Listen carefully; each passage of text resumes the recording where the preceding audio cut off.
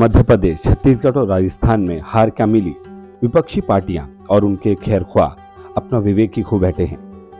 वो 2024 की अपनी तय पराजय से इस कदर भयभीत हो गए कि उन्होंने एक बार फिर ईवीएम का कटराग अलापना शुरू कर दिया है।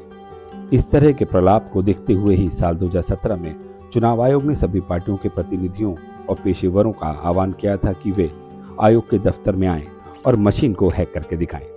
मगर तब किसी ने उस चुनौती को कबूल नहीं किया और उसके बाद हुए दर्जनों चुनाव में भिन्न भिन्न पार्टियों को कामयाबी मिली। दिलचस्प यह है कि जीतने के बाद उन्हें मशीन में कोई कमी नज़र नहीं आई। उन्होंने पूरे मज़े से सत्ता का सुख भोगा और अब जब जनता ने उनसे सत्ता छीन ली तो एक बार फिर वही दल विलाप करने लगे हैं। ये तो कहीं से परिपक्व आचरण नहीं हुआ।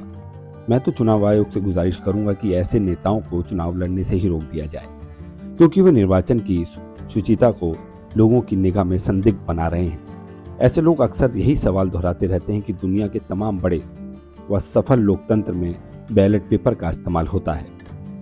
तो हम क्यों ईवीएम की इज़्ज़त पाले हुए हैं? क्या इन भोले लोगों को यह नहीं पता कि उन तमाम देशों में जितनी आबादी वोट करने के लिए मतदान केंद्रों तक आती है, वो हमारे यूपी, बिहार के वोटरों की संख्या से भी कम है। हमारे यहाँ वोटरों की संख्या इक्यानवे करोड़ से ज़्यादा है।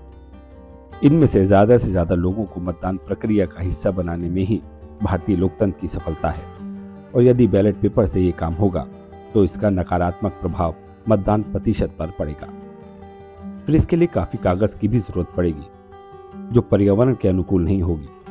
विपक्षी पार्टियों और राजनेताओं को ईवीएम का रोना छोड़कर जनता के बीच अपनी पैठ बनानी चाहिए। जब उन्होंने इतना बड़ा गठजोड़ बनाया है और वे भाजपा के खिलाफ एक उम्मीदवार देने की रणनीति बना रहे हैं, तब कोई चोर दरवाज़ा क्यों खोज रहे हैं? उनके पास मुद्दों की कोई कमी तो नहीं, बेरोजगारी, महँगाई, किसानों की बदहाली, भ्रष्टाचार, सांप्रदायिकता जैसे इतने मुद्दे हैं तो उस पर वे वोटरों को कायल करें।